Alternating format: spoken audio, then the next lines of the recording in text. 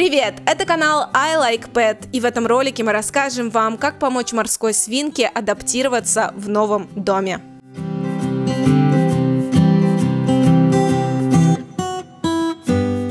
Совсем недавно у вас в доме появилась очаровательная морская свинка, и теперь вы переживаете за то, как она адаптируется в новом для нее месте. Не волнуйтесь, вы можете помочь своему новому питомцу. Специально для вас мы подготовили советы, которые помогут адаптироваться морской свинке в новом доме.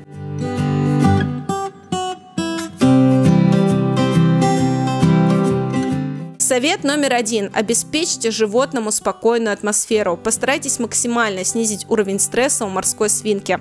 Посадите нового питомца в заранее подготовленную просторную клетку. Обязательно положите в нее сено или поставьте специальный домик, чтобы морская свинка при желании могла спрятаться в него и наблюдать за новым местом из укрытия. Важно, чтобы клетка нового питомца стояла в тихом месте, защищенном от резких и громких звуков.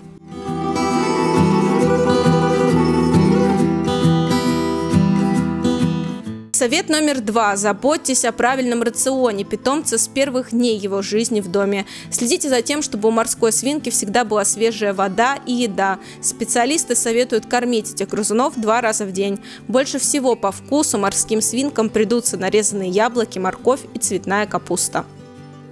Чтобы не потерять наш канал, жмите на кнопку подписаться. Не забывайте нажать на палец вверх, если видео вам понравилось. Это помогает нам делать видео, которые интересны именно вам. Наслаждайтесь просмотром.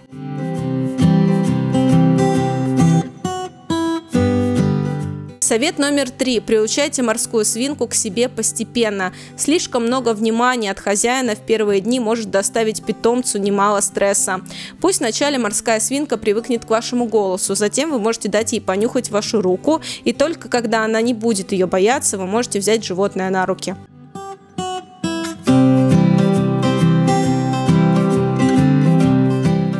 Совет номер четыре. Если у вас дома уже есть морская свинка, не спешите знакомить нового питомца со старым.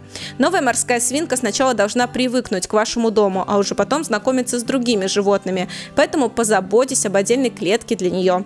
И уже после того, как грызун привыкнет к вам и новому месту, знакомьте его с другой морской свинкой. Сначала поставьте клетки грызунов рядом, чтобы питомцы могли привыкнуть к присутствию друг друга, а потом откройте дверцы клеток так, чтобы свинки могли посещать владение друг друга, но при этом возвращаться на свою территорию. После того, как зверьки привыкнут и смогут хорошо друг друга переносить, вы можете поселить их вместе.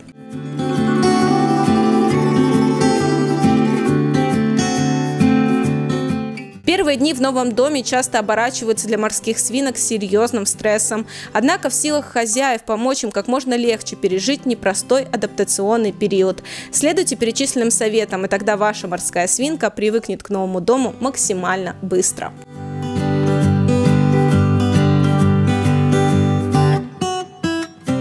О других полезных правилах содержания домашних животных вы можете узнать на нашем сайте. Подписывайтесь, читайте и смотрите нас. Мы также представлены в социальных сетях. С вами был iLike.pet. До новых видео!